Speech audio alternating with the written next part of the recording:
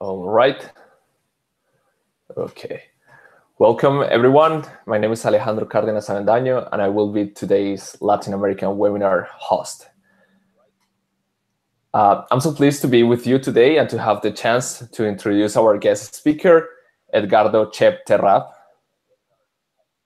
Hold on a second, I was having a feedback. Okay, sorry. So um, it's a pleasure to introduce Edgardo Cheb-Terrab from MapleSoft. He did his bachelor in physics at Estado do Rio de Janeiro. Then he did a master's in theoretical physics at Centro Brasileiro de Pesquisas Físicas. And then he got his PhD in theoretical physics at Universidade Federal do Rio de Janeiro. Then he did a couple of postdocs at University of Waterloo, Simon Fraser University, and University of British Columbia. Um, he was the head of the theoretical physics department at the State University of Rio de Janeiro until 1996, when he moved to Canada uh, to work, to start working for Maple Software, and also was uh, sort of joint professor uh, at University of Waterloo, University of British Columbia, and Simon Fraser until 2005, where when he became like a full like a staff member of MapleSoft. Um, since then, he has he and his students have developed the algorithms and Maple libraries, the ODE, PDE solvers, mathematical special functions, and specifically also the physics package that Maple uses. Today, he will talk about applying the power of computer algebra to theoretical physics and using Maple. So please join me in welcoming Dr. Cheb-Terrab. Uh, okay, so I'm sharing the screen now. Uh, hello, my name is Edgar Cheb-Terrab, and I do the physics, differential equations, and mathematical functions uh, software of the Maple system. Uh, today, I will talk about the physics project at Maplesoft and the, the resulting physics package uh, with some examples in classical field theory, quantum mechanics, and general relativity. Um, the level, uh, I will try to start with something that is simpler and then go into something a bit more complicated. So first of all is uh, why computer algebra? And the the reasons are several. First of all, we can concentrate more on the ideas instead of the algebraic manipulations. Uh, this is relevant. I remember my PhD thesis, more or less um, 80 pages of algebraic computations by hand in quantization of supersymmetry. Um, we did the computation two times uh, by hand, of course. And in fact, the ideas were uh, just one or two, and it was a, large number of computations. So with computer algebra, we can move away completely from that paradigm into something else, which is focus the ideas and let the computer do, do the, the heavy algebra. The second thing is that we can extend results uh, easily. Uh, for instance, during the, the month that the, the thesis committee were analyzing uh, my thesis, uh, I was able to extend the results now using computer algebra uh, to produce two uh, new papers with uh, problems much more complicated than the ones I tackled for my thesis. Uh, we can explore the mathematics surrounding a problem. For instance, if uh, it involves differential equations, we can explore different uh, solutions for differential equations using symmetries, using this, that. If there are special functions involved, we can plot, compute series, see the properties, etc. And not less important, we can share results in a way that is reproducible so that if we uh, have uh, colleagues, we can do some computation, put some text, uh, send the worksheet that allows a colleague to reproduce the results uh, precisely, uh, change something, send the worksheet back. So we interact with something that is a sort of a, a live computation instead of uh, paper and pencil or LaTeX, which is their computation. So if it is so good, why is that it wasn't used more? And the reason is that computer algebra systems were not built for the typical computation we do in theoretical physics. So there were notation and mathematical methods missing. for example, coordinate free representation for vectors or vectorial differential operators, everything about tensors, covariant, distinct from contravariant, some rule for repeated indices, functional differentiation, covariant differential operators, uh, not to mention uh, Dirac's notation in quantum mechanics. All this was missing. Another thing is that the paradigm in computer algebra was always to uh, similar of a, of a calculator, but with algebra. You input a computation and you receive the result. But when we compute with paper and pencil, we frequently want to represent a computation without actually performing. For instance, we do computations uh, with integrals that are not computed until the end after combining them and taking some properties of the integrand, etc., that only appear later in, in the computation. Uh, also, we use a very flexible hand-like uh, style for uh, doing computations with paper and pencil, and we use a textbook, uh, I, I, call it the textbook-like notation. It's, it's, it's right, really close to calligraphy, what, what we do uh, in theoretical physics with notation. All this was, uh, was missing. Uh, and finally, uh, some key things of the computational domain. So for instance, product and differentiation involving commutative, anti-commutative, and non-commutative objects wasn't there. The ability to set uh, custom-defined algebra rules, commutator, anti-commutator, or bracket rules, and the ability to distinguish, you know, use uh, properties of generic, unitary, or, or Hermitian quantum operators. Nothing of this was uh, there, and essentially the Maple project introduced all these things into the computer. So I will go now with some examples. Uh, and the examples will go over quantum mechanics, classical field theory, general relativity, and something of what's next. Uh, first of all, uh, I will do the presentation alive. So what you are uh, watching now is indeed a Maple Computer Algebra uh, worksheet.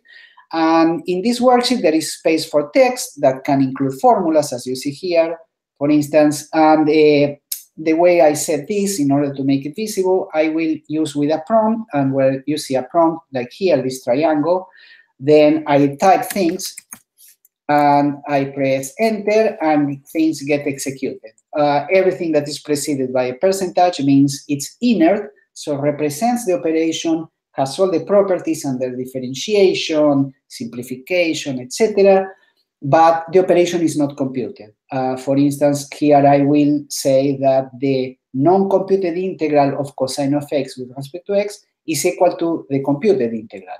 And it gives this when I press in, enter, the output appears and I see a um, an equation label. I can then refer to this equation label pressing Control L and I put the number of the equation label. Uh, the number gets inserted there. I press enter and I retrieve the contents of that equation label. I will use this all the time during the presentation. So uh, starting now with uh, some topics. Uh, first of all, in quantum mechanics, we introduced all, uh, all about Dirac's notation. So we have kets and bras, discrete and continuous basis, scalar product, orthonormalization relations, closure, uh, projectors, quantum operators, eigenvectors, eigenvalues, and commutators. Uh, this is not a, a, lecture on quantum mechanics, so uh, I won't go into see this, see that we have it. No, I'm just saying all about Dirac's notation is there. And let's see it at work directly with something that is not so usually seen in computer algebra, which is the use of uh, this uh, formalism to derive properties of mathematical objects. So consider unitary operators in quantum mechanics.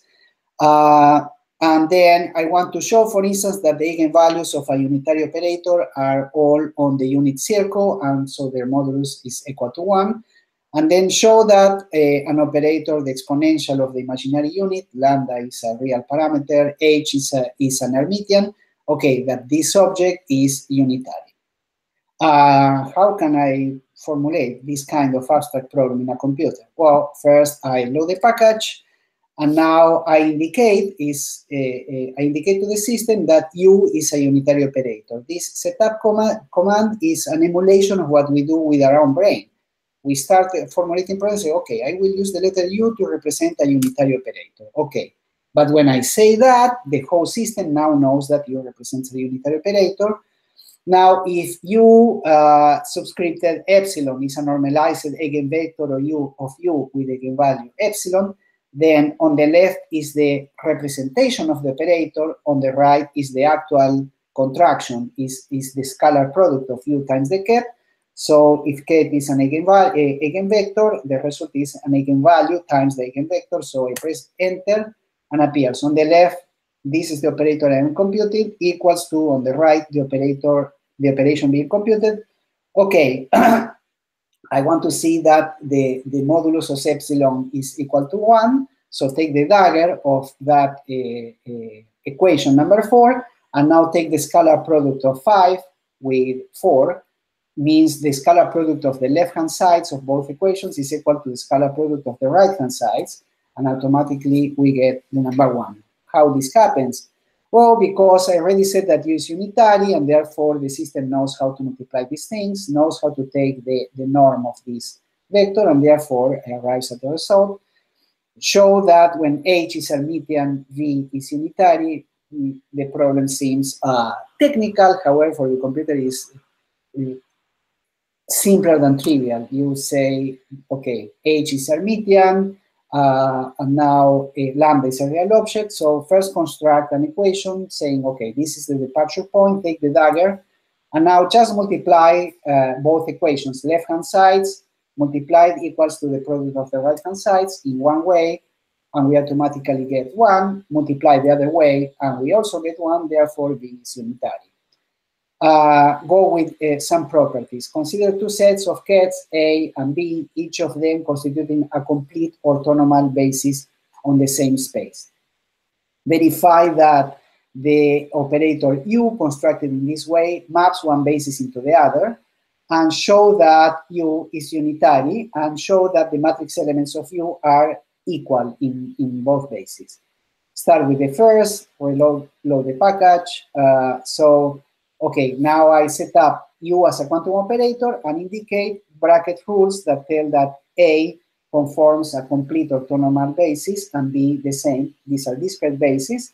And now I construct, you know, this is the departure point, uh, U is this operator. I want to check that this operator maps one basis into the other. So just take the operator and multiply by A.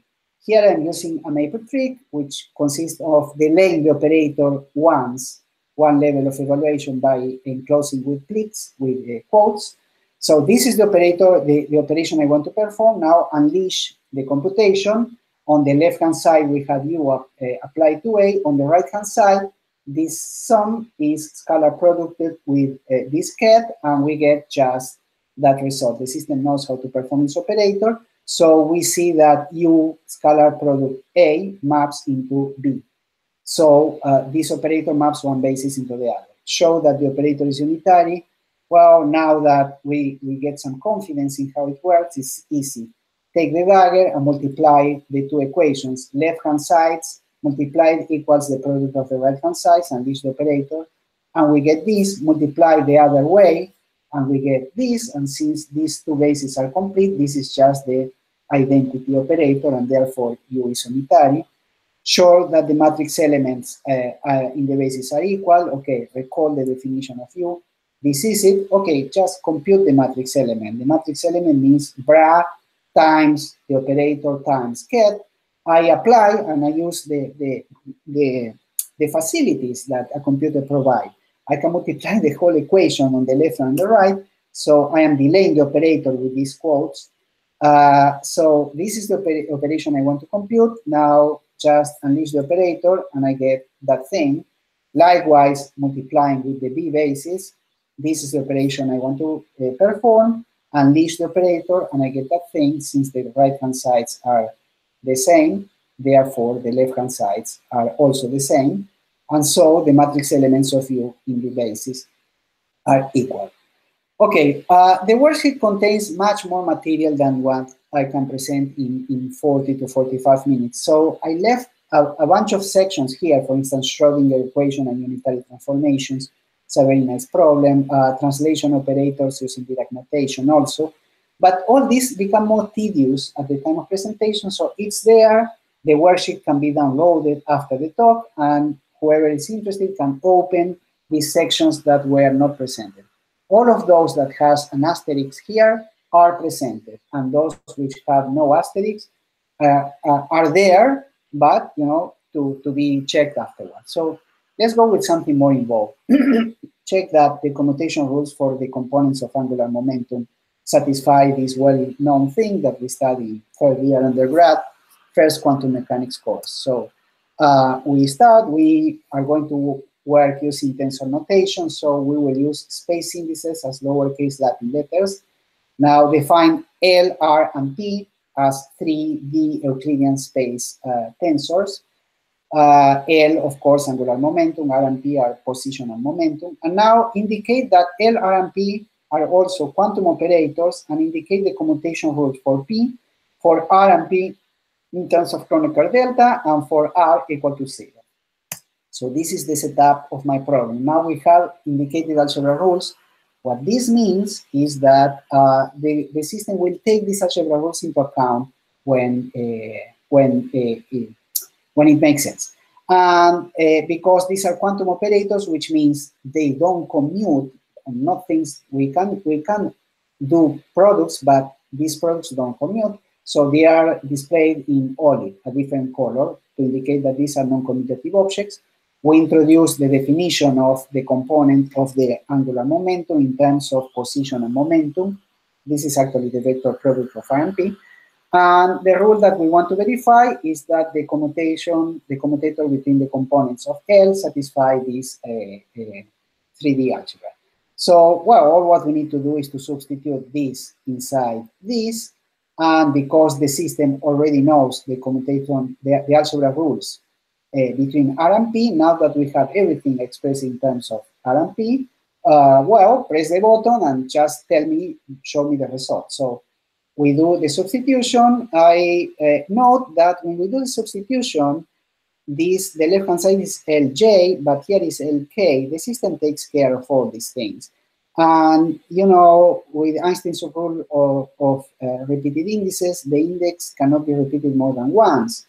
So the system takes care of collision of indices as well.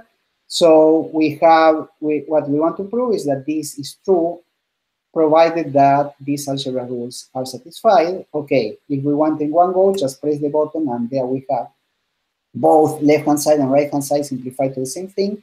If we want to go in two steps, expand first the commutator, and now this product of uh, Levi-Civita tensors is expressed into sums of products of Kronecker deltas. The Kronecker deltas uh, contract with all these uh, non-commutative operators. These products are non-commutative. You cannot switch the, the order of the operands. But then, uh, taking into account the algebra rules, both things simplify to just that thing that was mentioned. Uh, okay, go with something a bit more involved, quantum commutation rules. Uh, so what we want to show is uh, we want to derive the commutation rules in the coordinate representation between an arbitrary function of the coordinates and the related momentum. The arbitrary function here is represented by f. And for that, we depart from the differential representation of uh, p as uh, this object, imaginary unit and uh, Planck's constant. Okay, uh, solution. We load the package. We are going to work using vectors, so uh, we use that. And then we need to set the problem, which means all of x, y, z, and p are Hermitian operators. All the all the position uh, operators commute between themselves. And we will indicate now that the x, y, z are the differentiation variables of the corresponding differential operators, and we won't tell the form of the operators themselves. Neither indicate the commutation rules of between the p, because that's what we want to derive. So, okay, our departure point is this. Uh, I will set an alias, which means the capital X will represent the sequence of x, y, z, that is simpler to write, and I will use a compact display, which means f of x will now be displayed as f in order to avoid a, a redundant uh, uh, display. So uh, what, what, my departure point is take the commutator and I want to apply it to a ket, um, a, a three-dimensional ket. Uh, now, although this is represented as a product, the fact is that P is a differential operator, so at some moment I may want to apply. Uh, for that, we have a special routine that transforms the product of an operator times something into the actual application of the differential operator. So uh, the left-hand side now becomes equals to this. So P is applied to the ket minus P applied to the product of F times the ket. Now we define P to be this operator, uh, uh, which is consistent with uh, what we said here. And uh, okay, now expression 38, which is here, becomes, uh, sorry, becomes this thing. Uh, and now the here we use it in gray because it's preset by percentage. We use the inert form of Nabla uh, just to have control step by step and see how it works. So now we are going to execute these operations. So we take the value of that. So now the operation is performed, not just represented. And now we want to simplify this thing and we get this. Uh, by i, there is a common factor here that we can factor out. So just factor. Uh, now we get this and we can see that this is just the gradient. Uh, we uh, produce an equation where the left-hand side is the computed gradient equals on the right-hand side to the inert form of the gradient, which is just its representation. Substitute one thing into the other, and then we are almost there. Just multiply, do a formal operation, multiply by the inverse of a ket, and there we are, and we get uh, what we are looking. I will speak, uh, skip all of this uh, and uh, just uh, give a, a word about this. A much more involved problem is to show that the hydrogen, hydrogen atom admits uh, has a hidden SO4 symmetry. This is a very nice problem and really shows uh, the power of uh, all the software at work. It's a, it's a problem that's complicated by hand. I will just formulate it here, indicate that the solution is there, but this problem itself will take 30 minutes. Basically, you depart from the Hamiltonian, define angular momentum, and the Runge Runge-Lenz vector. Uh, this vector is a constant uh, in the classical theory. So in the quantum version, the commutator with the Hamiltonian needs to be equal to zero. For that, you need to symmetrize in order to have a, an Hermitian operator. And then just departing, just departing from the basic commutation rules of R and P, show that L is conserved, Z is conserved, I mean, it's a constant, uh, de uh, determine these commutation rules and show this as well. And finally, introducing a new object like this, you can show that the algebra behind this problem is this, which is an SO4 Lie algebra. Very involved problem in four steps is solved there, is left there for whoever wants to give a look. I'm moving into something else which is key in theoretical physics, which is functional differentiation. Starting with classical field theory, Start with the most simplest example, lambda phi 4. We load the package, uh, set the coordinate systems to be Cartesian. Uh, by default, the metric is a Minkowski metric, which standard in, in uh, special relativity. We will use a compact display for phi. And now we introduce the Lagrangian density. Um, we see from the input that this is very similar to what we do uh, with paper and pencil. Um, the output is also uh, very similar to, to what we see in textbooks. So now we construct uh, the four-dimensional uh, integral of this, which means this is the action, and we want, what we want to compute is the functional derivative of the action with respect to the field equated to zero, and that is the classical equation of motion for the field, so the field equations. So I am uh, delaying the operation using these pleats, now unleash the operation, and there we are with uh, the field equations. This means the D'Alembertian, of course. Now, it's important to say that uh, this kind of output is not just LaTeX output, it's alive, it's there. So I can uh, I can show all, all the components, I can uh, transform into differential equations, I can uh, assign values, I can really work with them. Okay, go with something more involved. So deriving uh, Maxwell equations departing from the four-dimensional action for electrodynamics. So we load the package, set coordinates to be Cartesian. define the electromagnetic potential A mu, use a compact display for it, define the electromagnetic field tensor using the standard formulas, and again, take the action and the functional derivative of the action, which is this, uh, with respect to the uh, a tensor field in this case. So this is in four dimensions. You see the index is rho, here is mu, here is nu. Uh, so the operation is delayed with these clicks uh, quotes. So now unleash the operation, and there we are with Maxwell equations in, in four dimensions in tensor notation. But for the fact that we see that some simplifications can be performed here, uh, taking into account Einstein's rule for repeated indices. So just simplify, uh, put a minus sign, divide by 4, and we get the standard form of uh, Maxwell equations in four dimensions. Uh, and just to go uh, heavy with this, we, I will do a last pro, uh, problem in this, which is to derive the Gross-Pitaevskii equation for uh, the ground state of a quantum system of identical particles. This problem is, uh, this description is relevant uh, for Bose-Einstein condensates.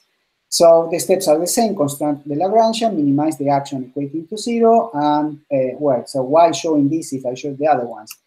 Because uh, it illustrates as well uh, uh, another thing, that is that we can compute with vectorial differential operators, also and functional differentiation. So this is the energy for the system, uh, C is, is the, the field representing the problem, G54 is atom-atom interaction, V is an external potential, uh, we set the real objects of the problem and the Lagrangian density in terms of the energy according to standard textbook formulas is given by that. So in fact, the whole problem here is to compute this functional derivative. How do you do it? So there is the conjugate, there is the time derivative of phi here, there is the uh, gradient of uh, of c, not phi, phi, c uh, squared, the norm, uh, there is a fourth term. How do you do it? Okay, just unleash the operation, and here is the functional derivative uh, performed, which means this this is the uh, the field equation for the problem, so it's the Gross-Pitaevskii equation. Now, here we see that there is a Laplacian in disguise, so construct an equation with the computed Laplacian equals to the representation of it. Now, simplify this equation, taking into account this equation. Uh, what we get is uh, the form, so essentially all these got compacted into this, appearing here. Um, now just isolate the time derivative, uh, which is here. Uh, okay, isolate it and plus simple algebraic manipulation, we get the standard form of the Gross-Pitaevskii equation. I would go, I don't have time, but it's there for whoever wants to see. Uh, this is a very nice physical review paper, topological constraints on magnetostatic traps. Uh, all the steps are there. This is also a 20 minutes uh, presentation. I will skip it, but it's there. It's a very nice problem. And now I want to switch to general relativity. First of all, uh, I want to talk about the database of solutions to Einstein equations. So in the physics package at Maplesoft, not only we have commands for general relativity, but we added a whole database of solutions to Einstein equations. And for that, we took the main reference for this, which is a book by Stephani and collaborators. He was the main uh, guy of the project. And the authors reviewed more than 4,000 papers containing solutions to equations in literature, organized the material into chapters, uh, it according to the properties, removed redundant uh, solutions presented as different when they are not, and result in a fantastic work, but for the fact that this uh, actual paper and ink. So you need to read, read, you need to copy by hand, and the equations are not alive. This, this is paper, it's actual paper. What we have done is digitize the whole book into Maple. We finished in the year 2016, so it is now possible to actually compute with these exact solutions directly. Everything is alive, the whole. Uh, I will start with some examples, uh, starting with the very, very trivial things. Uh, otherwise, will become uh, too esoteric. Anyway, take Schwarzschild solution. So In order to load the solution, all that you do is to, to give some portions of the keyword, here Schwarzschild, okay, SC, and the system knows, okay, this is the only match that comes with SC, so uh, sets the coordinates are uh, spherical coordinates, uh, and this is the metric. And that's all what we do. Uh, all, the, all the general relativity tensors uh, are automatically computed on background. So for instance, this is the Christoffel definition. Uh, if I rise the first index, give the value one, this is actually a matrix, and I can see the components. Uh, this is the, the definition of the Riemann tensor. This is uh, the Riemann invariants. These are the Weyl scalar definitions expressed in terms of the Weyl tensor and the uh, null uh, vectors of the Newman-Penrose formalism. Uh, this is the value of the Weyl scalars. I can define a, a, a, tensor and compute the, the Killing vector, so it's a tensor of one indice, and tells me that for this matrix, all this is being computing alive now on the fly, the Riemann invariants, the Weyl scalars, or the Killing vectors. Uh, so for instance, let's check. If this is the Killing vector, take for instance the second one, which means this one here. Uh, if this is true, then the, Lie derivative of the Killing vector should be equal to zero. So compute the Lie derivative, we get that thing. Uh, compute the components of that thing, gives this. Okay, simplified, and we see indeed all the components of this tensorial expression are equal to zero. Uh, compute the, the geodesics will give this, uh, use compact notation. Uh, okay, give me the differential equations behind this so abstract notation, the actual differential equations is this is a heavily nonlinear problem. Uh, okay, but it happens that on the equator, so at theta equals pi divided on 2, if we evaluate this system 85 at theta divided on 2, we get a system equation that is not so terrible. So uh, we can ask the differential equation solver of the system to actually solve it. It takes more or less 10 seconds in this computer and it will return, I'm counting here, there we are. So it's saying, I just asked for the first two solutions. It's saying, okay, there is one solution with this value of r uh, and this value of phi, and then t as a function of r and phi is here. This is the second solution, same thing. And t is the integral of, this is r, this is the, the tau derivative of phi, and so on. Uh, one can query the database of solutions. For instance, this gives me all the solutions that involve the mathematician Levi Civita. I just get uh, the index. The first number refers to the chapter in the book, then the equation, then the case. So in order to load, for instance, the first equation, I just indicate uh, something like this, and I get the equation loaded.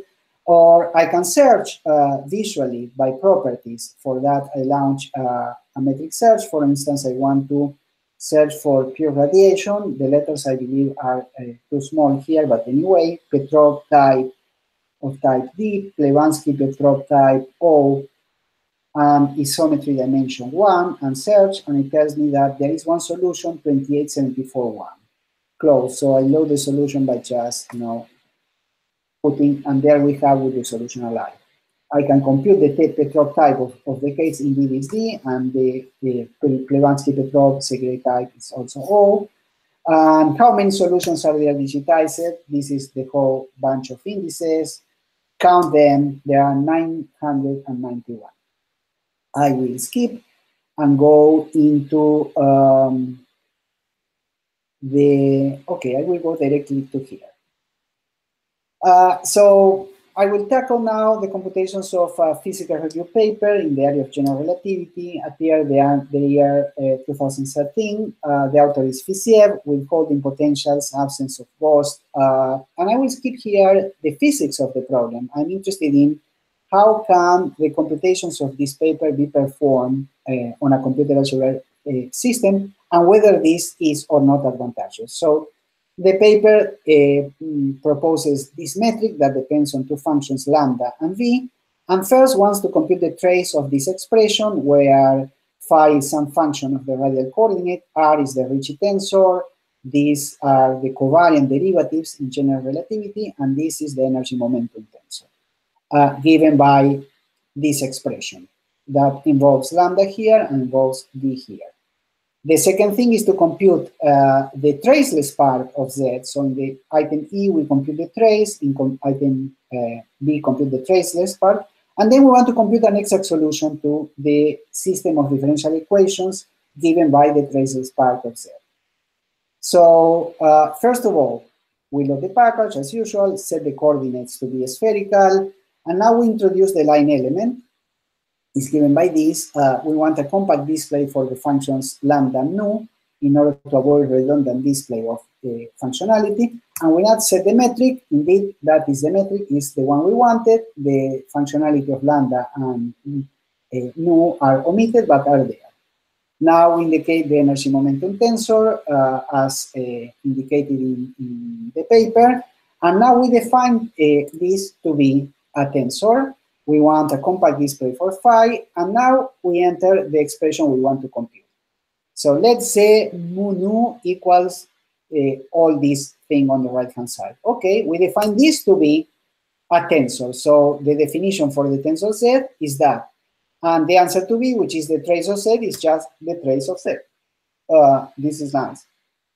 If we want to show it in standard maple notation, we see all this, and now we see the advantage of this uh, don't show the functionality and show derivatives as indexed is much more compact. This two line becomes four, and this has, in fact, a lot of redundancy in the, in the display. Okay, next item, compute the traces part of Z. For that, we define a tensor, munu, eh, a double munu, which is the traces part.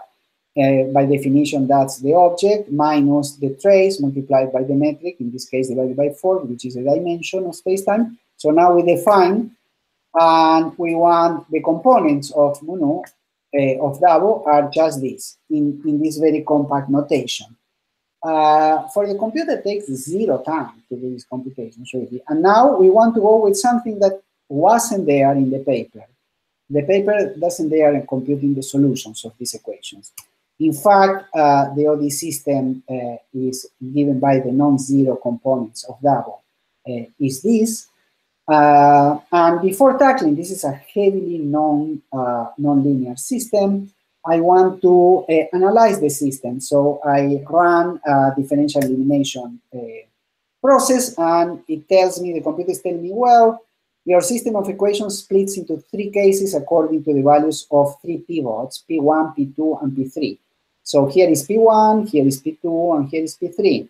It's actually, there is a P4 on, on, on the story. So if P1 is equal to 0, is case 3, but if it is different from 0, we have here, and then splits according to P2. If P2 is equal to 0, goes to 0, goes here. Otherwise, you have case 1, but if, if it's equal to 0, then there is a solution only if P3 is different from 0, and only if P4 is different from 0 and arrives at case 2. So indeed, the number of cases is just 3. And let me give a look at the size. The first one is too big in size. The second one is too big, not that big. And the third one is simple. Okay, takes the third one. Take the third one. This is, this is a nonlinear system. Uh, okay, this is linear, but here this equation is nonlinear, as we can see here. Uh, so in fact, the first equation is just a constraint, so split the problem into a constraint and a subsystem. This is pure differential equations. Uh, and this is a constraint between uh, lambda and phi. The problem has four uh, unknowns, phi, lambda, and v. Uh, so compute a solution for the subsystem. Uh, it comes pretty fast and it tells me that this is the solution. Okay, uh, now we can specialize one of the integration constants that appear here by using the constraint.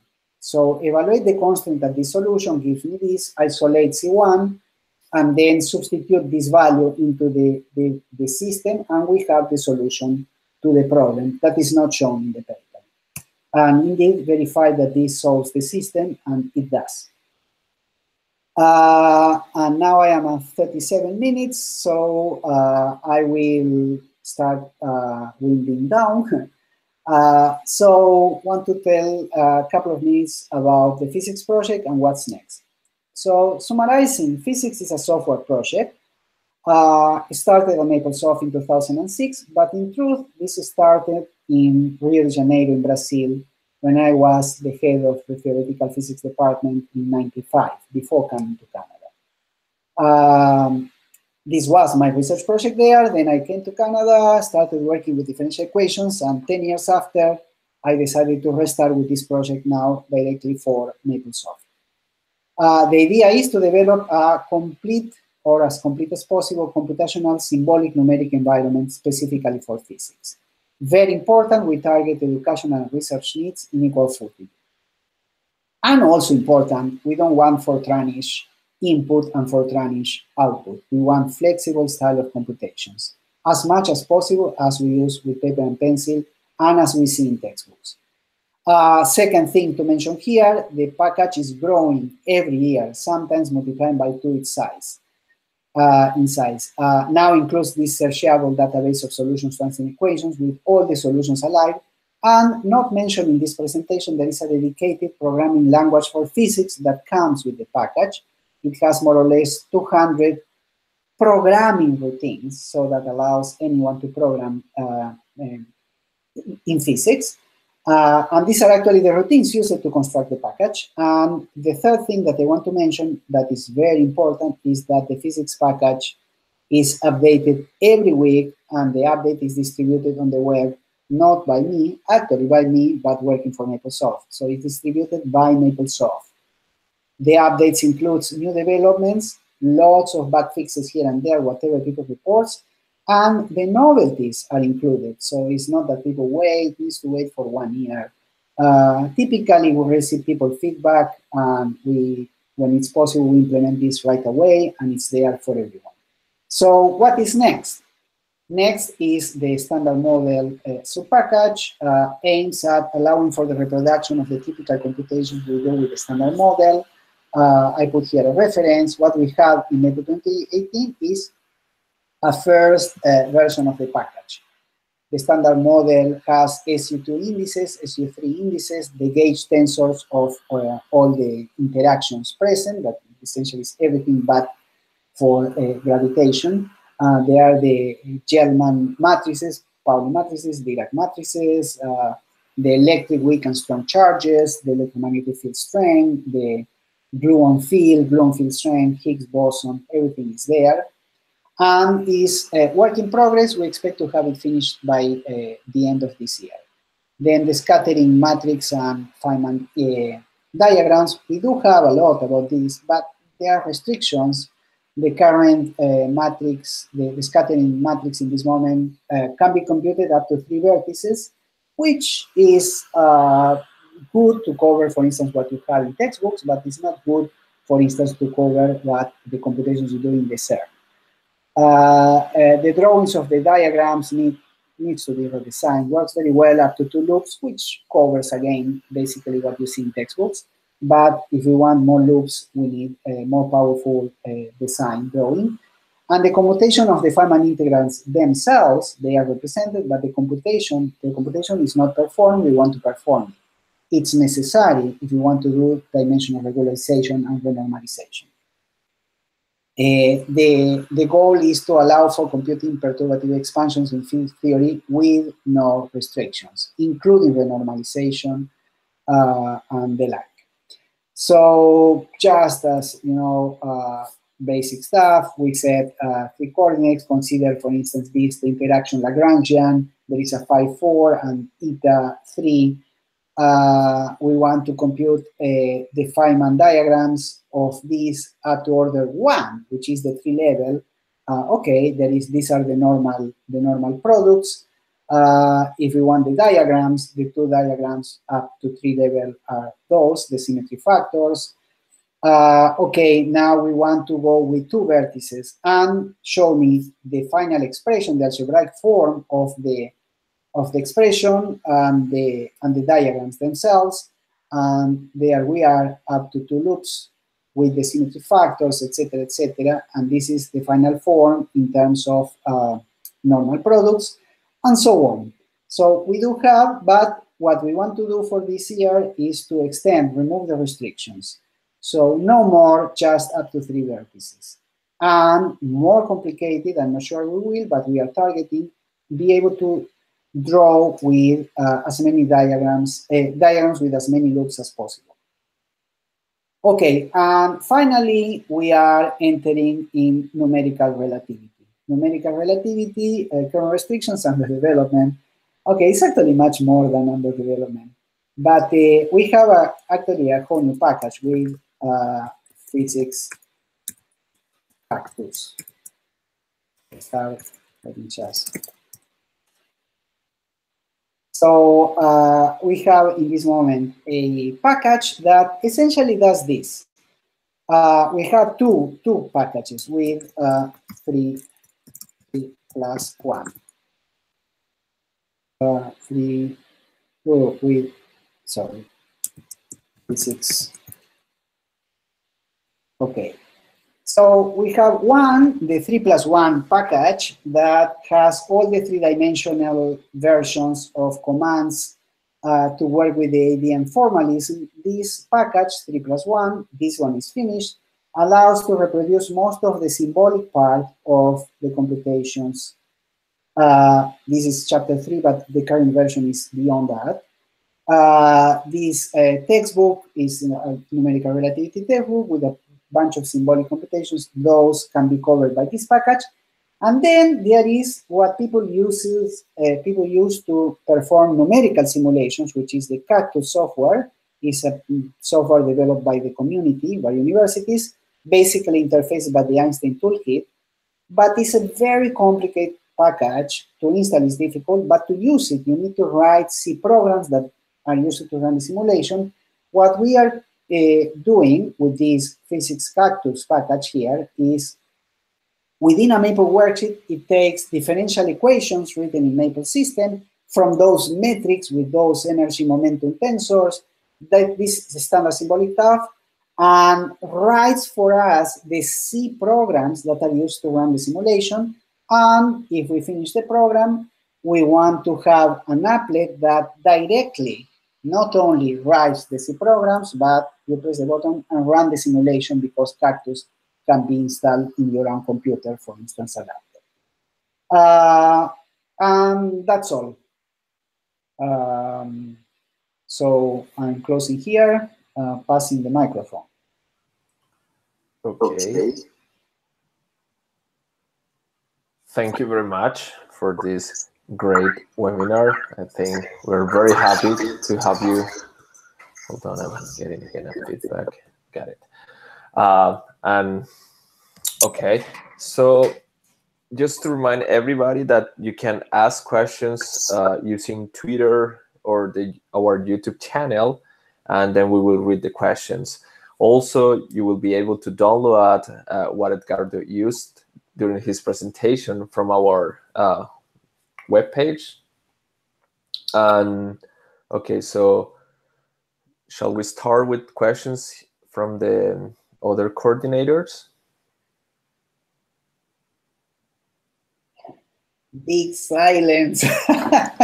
no, I, I, have a question for, for you, Edgardo. So uh, I was wondering uh, how it's included, for instance, all the part related, for instance, with uh, group theory, because since for the part of quantum mechanics or, or particle physics, it's very essential to, to deal with groups the standard groups, let's say, SU3 or whatever, but also with kind of non-typical groups in which people, is it possible, for instance, to, I can define the algebra of my group and then okay. Maple can deal with it without assuming that it's a special group or something like that? Suppose there is no physics package. Well, there is still the Maple system. The Maple system comes with differential equation solvers, a whole group theory package, dense full of commands, integrator, simplificator, etc. So what the physics package does is bring all what was missing. This is essentially the first slide of the presentation. Those things are not present normally in computer algebra systems. In fact, Maple is the only system that now includes these mathematical objects to compute, and then uses what is already in the system and there is already a full package, full feature package for group theory. So you can define very esoteric groups and the properties are there and they can be used right away. That's the answer. Mm -hmm.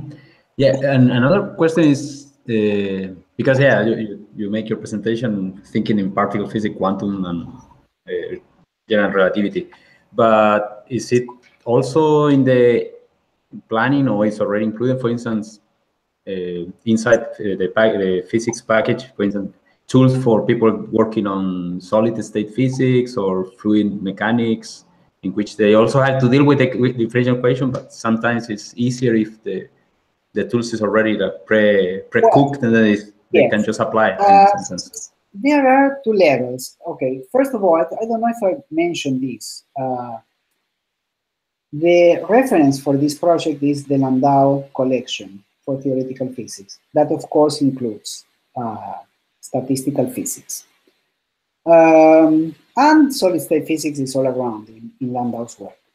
So I can tell you two, there are two answers for this. The first one is all the uh, the mathematical objects that enter these computations are there and the operations between them can I perform them? And the answer is yes, indeed. Now, for some things, you would prefer what you call somehow CUP formulas, you know? For instance, for uh, in, in statistical physics, there are many things that you would prefer. Okay, there is this, this object that we use frequently and we want a formula. That thing is not there, but can be programmed easily, either for some, someone who uses or for us extending. Now, what I've, I've been doing here is extending the package in the direction of uh, requests. So when people come and say, look, I want to do this problem that uh, is not a 3D, this, this is actually an infinitely dimensional problem. I want to work with tensors in this way because they represent many particles, this, this, that is a problem in solid state physics. Uh, okay, you can set the problem and it works. But as said, there are no specific tools for that unless people start requesting those tools, these uh, CUP solutions. So, okay. for example, uh, there is no tool to compute the Lagrange equations, you know, the equations of movement. No, there is no, but you compute the Lagrangian and take the functional derivative and get all the equations at once. Yeah. Uh, um, to follow up that, how do people request this type of ah, okay there are two ways of request the first one is the easiest write to physics at maplesoft.com okay that's me We will pop up here right away uh, that's one. And the other the other one is there is a blog maple blog called maple primes where maple users post uh, questions and insights and requests or you know point to things that are not working as you would expect. Maybe because you are missing something maybe because there is something that needs to be adjusted. So it's either sending to physics at maplesoft or uh, posting in the maple primes blog anyone can post Thank you. We have a question from our YouTube channel from William Torres Bobadilla. And he's asking, with respect to available packages, what is the performance of your routines compared to compared with FeynCalc, QGRAF, etc.? Yes, uh, that's one question. It's this. I, I can read it here. Oh. The answer is this. I mentioned that in the incarnation you have in Maple 2018, which is the latest version of Maple, uh, there are restrictions. You have the scattering matrix. You can compute with up to three vertices, which essentially means two loops, and uh, not more than that. Uh, now, uh, so in that sense, FeynCalc can compute much more than that. Uh, that's the first uh, part of, of the of the answer. And you also, what about higher orders? Okay, but that's what I was saying. What is next? What we intend is for this year is to remove entirely that uh, restriction and the prototype that is actually there in Maple 2018, but is not uncovered, uh, is able to compute uh, almost at the speed of a C program, which is much faster than FeynCalc with higher orders. If we finish what are our plans, this will be in the new release of Maple in 2019. Great. Do we have any other question from from here? Yeah, okay. I, I, have one more. I mean, I have all others, but uh, let's see for the moment. Yeah, have the. Yeah, I was wondering. Uh, so this physics package is already included in in in Maple. So in the sense, if people purchase or the university purchase Maple, they yeah. are for sure they're gonna get this package. Yes, it's. Uh, let me give a comment here. Uh, this physics package, it, it has so much and so much presence on the web and this story of the updates every week, etc., that people tend to think that it's something separate from Maple. No, it's not. I work for MapleSoft. This is a MapleSoft package is exactly part of the system. And in fact, part of the physics package is now used by other parts of the library because of the ability to compute with non-commutative things. Uh, so indeed, this is an official Maple package. Comes with the, the copy of Maple right away. Everything I showed here works without adding anything to the to well, I mean to the software. Mm -hmm. So in that sense, also in some sense the nice stuff to that this package is already part of Maple yes software is that there are full compatibility with Maple itself. Because I know for in for instance with other software that the people kind of is yeah. not part of the of the big not software, it's just people community building stuff that each time that there is a new version of the software is exactly. a, it's a nightmare for them. Part of the Maple system and therefore it's compatible at every single release because it just comes actually with much more at every release. But it's also maintained by the company because when you have different packages done at different universities, well, you can't ask for people to keep maintaining the package when some problems appear or we need uh, more functionality. These two things, fixing problems and adding functionality on request according to the use people are using, uh, are, are making of the package, this is key and, and only happens because it is a MapleSoft package. Uh, and then it has the, the other thing that is not part was developed here and other part was developed at another university that repeated a lot of the routines of the previous one and another part in a third university the guy wrote everything from scratch and no no no no It's all written in a single place using the same routines, professional level, and everything working in sync together. There is no part that doesn't play properly with the other part. Okay. Uh, I have a question just for our broad, like public. Uh, it might sound a little bit personal, but could you please tell us your history or story uh, how did you get like from being the head of a physics department to now work for a software company? like okay, okay. Uh, well, two parts of the question. First, how how something like this happened in unexpected ways. I wasn't planning this at all. I was in Brazil and said, well, after several years of you know head of the department is a lot of uh, headaches so um, because you need to deal with difficulties. Who wants to do that? We want to do physics. it's fun. Uh, okay, so I said to my wife, okay, how about we go to spend one year? Uh, let's go to the University of Waterloo. These are the guys who invented computer algebra. And applied there. I wasn't expecting uh, nothing specific, and they received the application, you know, with like this, come, come, and this is because we had written at that time a program to solve partial differential equations using Maple, uh, essentially to, to, tackle the Hamilton-Jacobi uh, equation in classical mechanics. I was surprised computer systems don't know about a PDE. I mean, this is, this is weak. so we wrote that, and then uh, the guys in Waterloo said, come, and then I said, okay, I'm, I'm going for one year, and then it says stay. So I stayed six months more, but then Waterloo was too cold, and I didn't want to stay there. And but then people from mathematics at UBC uh, in Vancouver, where I am now, I said, oh, how about before you return to Brazil, you come for a year here to UBC, here is warmer. and then we came here, and then people from Simon Fraser said, okay, how about you stay for 15 years? I said, no, 15 years, I need to return.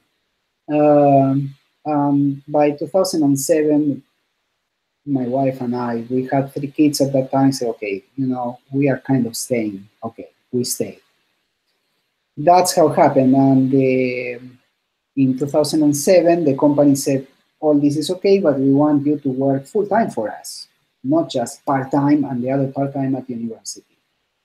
And this and that, it has advantages and many disadvantages. I miss the people, the environment, you know, universities. It's a very nice environment. Uh, but on the other hand, it's a lot of fun. So that's that's how it happened. Thank you very much. We are a little bit over the time. Maybe if we have a last question. Let me check the chat. Um, yeah. Well, yeah, there's another last question. It looks like a.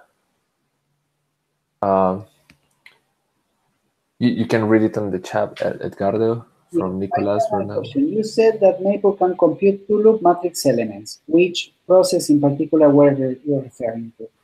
Well, because in the system you can represent everything. Uh, everything I mean, uh, from a scalar, pseudo-scalar, a, a spinor, or a, a vector, then I'm not referring to any particular system. You just have the representations for the mathematical, mathematical options. So you construct the integral, interaction Lagrangian, and from there you apply just Feynman diagrams and you get uh, also, what is the limitation to the number of variables Maple can deal with? Well, uh, the program that you see in this moment, first of all, deals with only powers up to four because that's what is normalizable. So that's one thing. The number of fields, there is no restriction to that. The number of vertices, uh, so you are taking the scattering matrix and expanding in powers, you are taking just up to three vertices, so it's up to order three. Uh, but the number of variables, and I suppose you mean the number of fields, there is no restriction to the number of fields. Okay, once more, thank you very much for this great webinar. It was awesome, and now people can refer to that. We just remind you that you can follow us on Twitter, Facebook, YouTube, in our YouTube channel, and we will pause the Maple worksheet. Thank you very much, Edgardo, for joining us in Latin American webinars, and let us keep in touch. Okay, thank you. Bye. Bye.